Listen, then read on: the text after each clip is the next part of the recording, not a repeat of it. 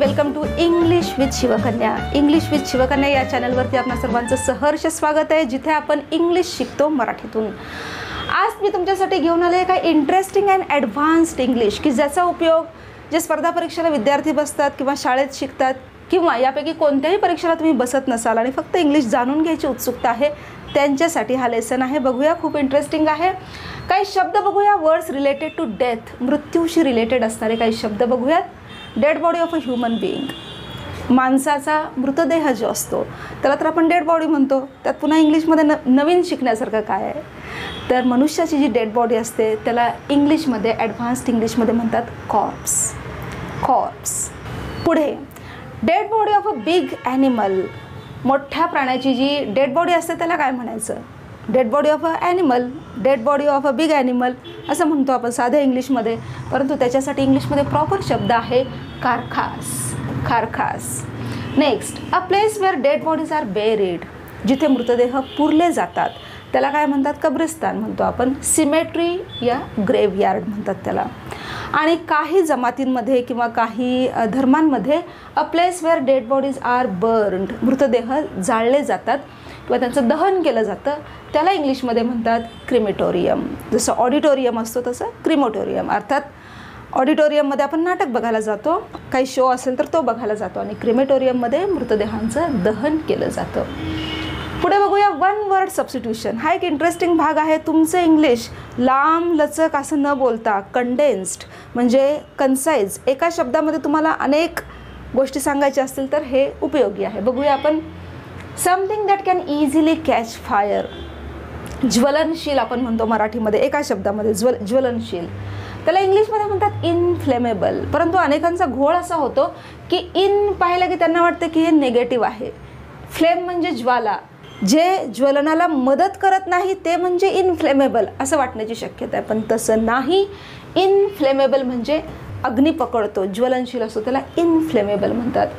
Next one who can change his or her party जो हा आज या पॉलिटिकल पार्टीमध्ये असतो उद्या दुसऱ्या पार्टीमध्ये जातो परवा तिसऱ्या पार्टीमध्ये जातो परत वळून पहिल्या पार्टीमध्ये येतो. अशा दलबदलू लोकांना काय म्हणतात?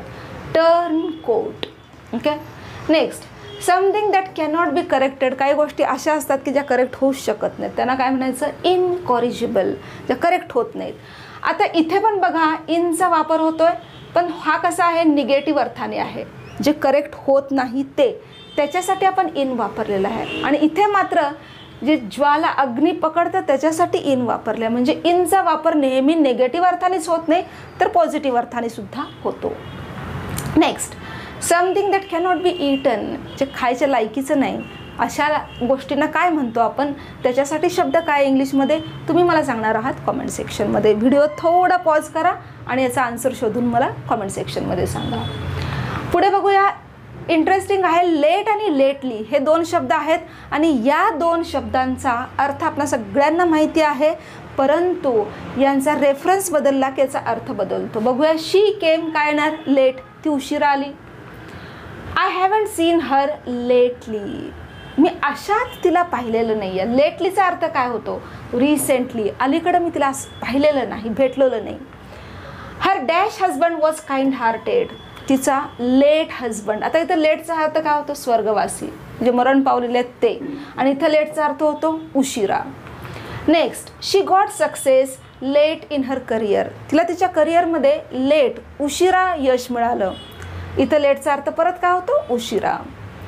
Prices have shot up dash महागाई वाढली आहे काय येईल इथं? लेट की लेटली कॉमेंट सेक्शनमध्ये मला जरूर कळवा.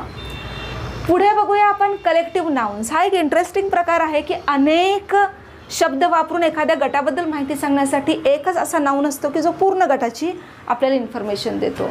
अ डॅश ऑफ सिंगर्स गायक लोक जे असतात गायन वादन करणारे असतात त्यांना काय म्हणतात?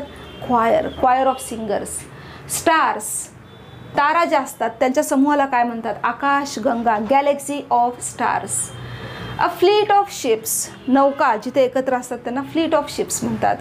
A board of directors director लोकांचा जो समूह असतो त्याला बोर्ड ऑफ डायरेक्टर्स म्हणतात. आणि तुम्ही मला सांगणार आहात व्हिडिओ एक मिनटासाठी पॉज करून a dash of soldiers soldiers सैनिकांचा जो समूह असतो त्याला काय म्हणतात ते? पुढे जाऊया आपण. Nouns always used in plural form काही नाम असे असतात की जे नेहमी अनेक वचनात वापरले जातात. ते अनेक वचनात असतात म्हणून त्यांच्यात बरोबर येणारा जो वर्ब आहे तो पण प्लुरलमध्ये वापरला जातो. कोणकोणते आहेत असे?